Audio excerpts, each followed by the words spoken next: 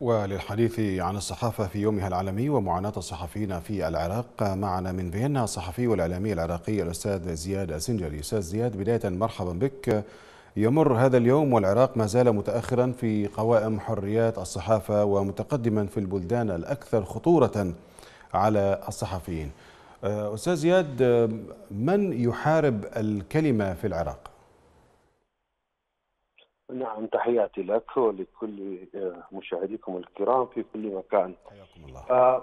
في بداية احتلال العراق بعد 2003 وبعد أن تشدقت الولايات المتحدة الأمريكية بالديمقراطية ونشر الحرية وظهر الدستور العراقي الذي كفل حرية التعبير ولكن كل هذا الأمر لا يعني أن العراق دخل في هذه في مرحلة الديمقراطية وحرية التعبير والعمل الصحفي والإعلامي بصورة حقيقية. نشاهد ان العراق بعد 2003 سجل ارتفاع كبير جدا على مستوى استشهاد الصحفيين وإصابة الصحفيين واعتقال الصحفيين وقمع الصحفيين في العراق.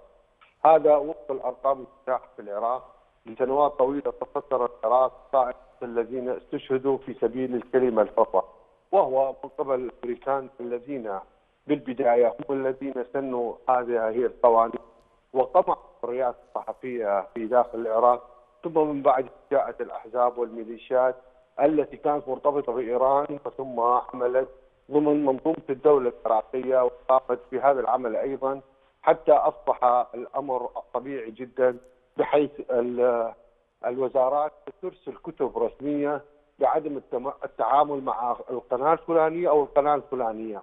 وهناك قنوات كثيرة حوربت ولعل الرافدين من ضمن القنوات التي حوربت من أجل كلمة الحق في العراق وعدم التصريح لها. وكذلك العاملين في المجال الإعلامي والصحفي الذين تم استهدافهم بالقتل المباشر أو التهديد أو التنكيل ولذلك نشاهد أرقام مخيفة من الصحفيين هاجروا وتركوا العراق لأنهم لا يؤمنون عن نفسهم ولا يوجد حريه للكلمة في داخل العراق. طيب أستاذ زياد منظمة مراسلون بلا حدود قالت إن العراق ما زال في البقعة السوداء في البقعة السوداء للبلدان الأكثر خطورة بالنسبة للصحافة والصحفيين. أينما كان من الخطر أستاذ زياد يعني من يتحمل مسؤولية حماية الصحفيين في العراق؟ نعم الحقيقة الحكومة والحكومات المتعاقبة في داخل العراق لم تستطيع أن تؤمن حياة الصحفيين والعاملين في مجال الصحافة. وهنا لا نذكر فقط العراقيين حتى مختلف الجنسيات الأخرى. تم اختطافهم تم المساومة عليهم غلق مكاتب مكتب رويترز. قبل فترة أغلق نتيجة تقرير. نحن نتحدث عن منهج انتهجته هذه الحكومات المتعاقبة. في غلق المكاتب في محاربة الصحفيين. ولذلك تتحمل مسؤولية كبيرة هي الحكومة العراقية. وكذلك لم تستطع لحد هذه اللحظة أن تثبت نتائج نتائج تحقيق واحد في من أجل استشهاد صحفي واحد في داخل العراق، يعني الحكومة عجزت عن تقديم أشخاص للعداله بعدما تم قتل العديد العشرات أو المئات من الصحفيين والعاملين في المجال الصحفي والإعلامي.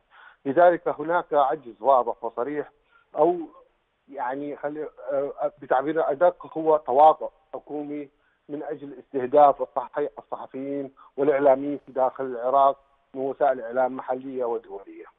عمليات الاغتيال المنظمة والاعتقالات والاعتداءات ضد الصحفيين دون محاسبة الجناه يعني كيف انعكس انعكس ذلك على الجو الصحفي على انطلاق الكلمة الحرة؟ لا شك بأن هناك تداعيات سلبية وخطيرة وكبيرة. هناك التعتيم الإعلامي هناك منع الصحفيين والإعلاميين من تغطيه الأحداث المهمة في العراق. هناك حصر للأخبار باسم الناطق الرسمي.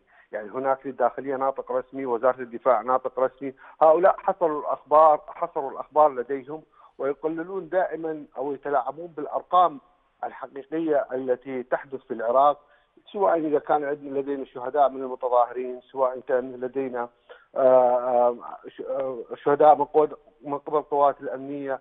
هناك عمليات اغتيال من قبل الحشد وغيرها. أحداث كثيرة الحقيقة في العراق يتم التلاعب بها، لذلك اثر ذلك بشكل واضح وصريح على العمل الصحفي في داخل العراق وقسم منهم من للأسف خرج خارج حكومة بغداد ذهب للإقليم لأنه وجد الملاذ الامن وقسم منهم ذهب إلى تركيا مثل أو إلى الأردن، الكثير من القنوات الحقيقة غادرت مكاتبها العراق واخذت لها مكاتب في دول إقليمية نتيجة الخوف من بطش الحكومي وتسيب تلك الميليشيات التي لم تستطع الحكومة إدانة أي شخصية قام بقتل.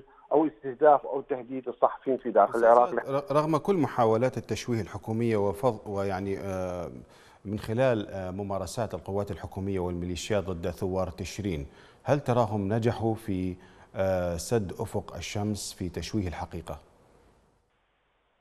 لا شك بأن اليوم العالم تطور وأصبح هناك مجال للسوشيال ميديا لا يحتاج إلى كاميرات ومعدات كبيرة وكذلك هناك حرية في بعض القنوات التي أخذت على عاتقها من خارج العراق نشر الأخبار ونشر الحقيقة المجردة من داخل العراق وتحدث الكثير من المصاعب والكثير من المشاكل التي والعراقيل التي وضعتها الحكومة العراقية بالتفاوض مع الحكومات أو الدول التي تستضيف هذه المكاتب وهذه القنوات مثل ما حتى ما حدث مع قناة الرافدين التي تنقلت من بغداد بعد استهدافها بسيارة مفخخة من عمان إلى مصر من مصر إلى تركيا.